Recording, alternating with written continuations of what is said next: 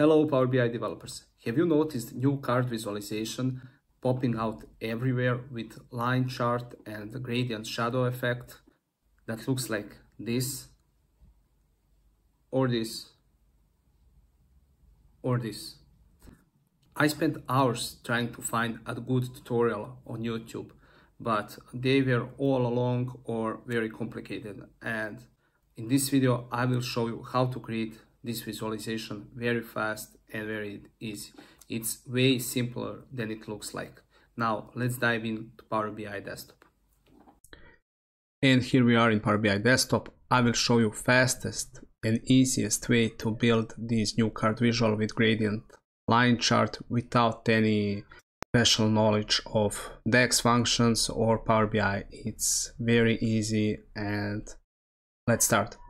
So first thing that we are going to do is we will visit one website and from this website we will download code for this visualization. So that site is Kerry Kerry Kolosko. You will recognize it, it has diamond as icon. Click on it. And now let's go to templates select SVG templates, scroll down, down, down. There it is. Click on it. And this is the code. You don't need to have any special DAX knowledge like this lady has. You'll just copy this. In top right corner we have copy icon. Select it. Now let's go back to Power BI desktop and let's create a new measure. And just paste this. And as you can see uh, here we have some errors marked with red line. So we need to change these inputs.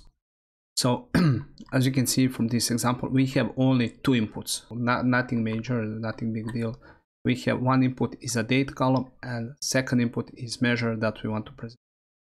So let's just change this with our date column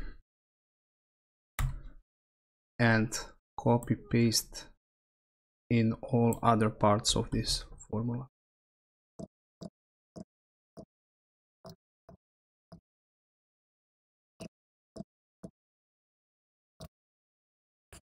And second input is measure we want to present and let's I have measured total revenue I think total revenue here it is. Copy paste it. So to summarize I have added here my date column. You can use calendar table or you can use uh, date from your fact table. And I pasted uh, almost everywhere same details except this formula summarize needs to have table name in front of the column name and my table name is calendar. So we have added everything no red lines so it means no errors press enter and close this. Now let's add total revenue. Okay so this is a normal card from visualization pane select new card with thunder here card new. And now what we're going to do select format go to images turn on images under image type select image url under image url select conditional formatting. Here in this drop down menu select formula you have created. Okay and okay nothing has happened. And this is most important part I think. Change size to 200 I will put it to 200 you can change it to any other size you want. And as you can see I have now line chart but it's not good looking. It's not uh, quite clear.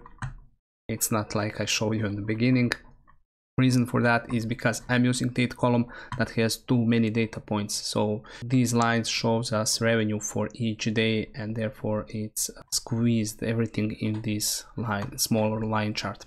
What we are going to do is we are going on to use only month and year. So if you do not have month and year column you can create it. Let me show you. So i have year and month column uh, i created by uh, combining month number adding one in middle and adding adding year on the end and format that as a date.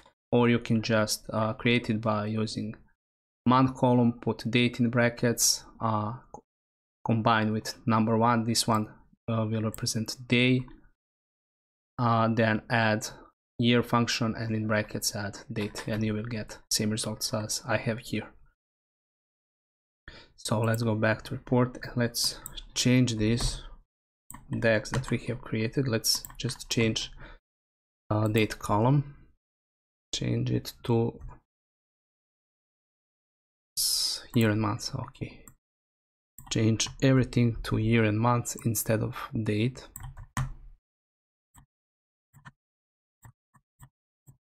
And that's it. No red lines no errors and here it is. Now you can apply some additional formatting here to get a better visualization. And you can do that by adding accent bar. Click on card under format pane. Uh, go to accent bar turn it on. Click on drop down position left. You can change it to down color. Let's choose blue color because our line is blue color and let's change width to 5 6 this is good. Uh, additionally what we can do is to change background for this uh, visualization. Click on background. Under background image go to browse. I have downloaded this revenue icon from flaticon.com click on open and let's just change image fit to fit and let's add some transparency.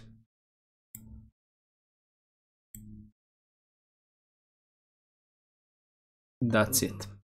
I mean there, there is a bunch of stuff that you can do. You can play around here in format pane and you can change line colors if you go to DAX formula. Let's open DAX and here in this variable variable defs uh, colors are are defined so you have blue color it's same here blue color uh, this is hex code you can find hex code of color you want on the internet on google just type it you have a bunch of tools you can change this code and uh, this is a circle that is on the end you can change it to any other color you need this is the circle I am referring to. And that's it. If you like this video, please make sure to subscribe and like. Thank you very much and goodbye.